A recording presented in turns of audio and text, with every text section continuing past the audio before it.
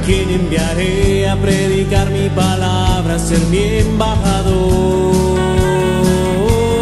Venme aquí, envíame a mí,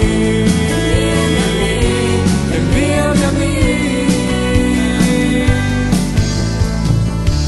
Siempre, hijo mío, te he estado llamando. Ser mi profeta y mi seguidor. He tocado tus labios, perdoné tu pecado, mi rostro y mi amor.